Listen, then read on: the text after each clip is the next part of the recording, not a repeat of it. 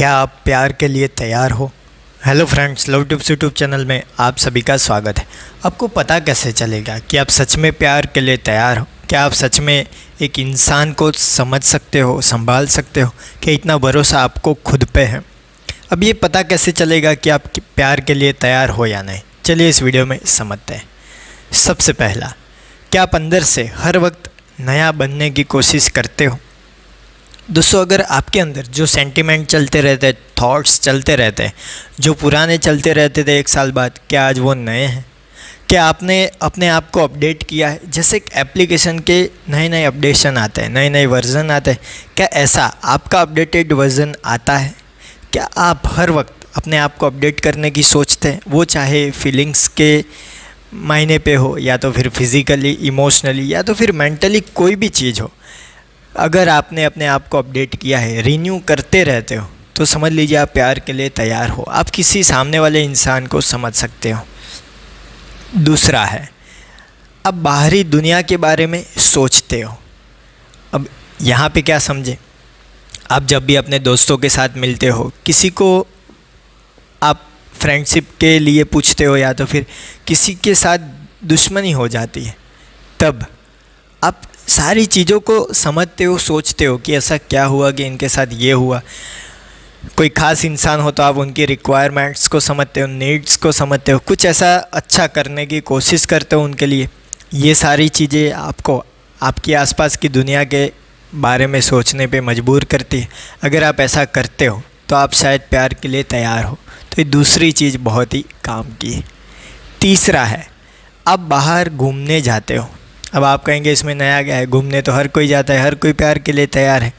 घूमने का मतलब है, अब कोई भी आपका जैसा भी फ्रेंड सर्कल हो, आपके स्कूल कॉलेज कोई भी फ्रेंड्स हो, आप गेट टुगेदर रखते हो, उनके साथ अच्छे से मिलते हो आउटसाइड जाके पार्टी या जो भी आपको पसंद है वो करते हो। कभी भी आप अपनी आप को एक बंद कमरे में रखने की कोशिश नहीं करते। आप आउटसाइड जाते हो और लोगों के साथ मिलना आपको अच्छा लगता है। तो शायद ये भी एक पॉजिटिव वे में दिखाएगा कि आप प्यार के लिए तैयार हो। चौथा है, आप अपने आप को हर समय तैयार रखते हो।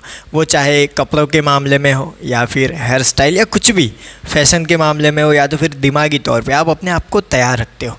जो भी बोलते हो फ़िल्टर करके बोलते हो? यानी कि चीज़ें समझ के बोलते हो? कुछ भी ऐसा नहीं बोल देते जिससे सामने वाले को ऐसा लगे कि इसमें कोई दिमाग ही नहीं है।